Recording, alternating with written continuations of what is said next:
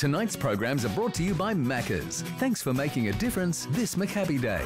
Tonight on Prime 7, journey into a land of magic and wonder in the fairy tale story of Cinderella.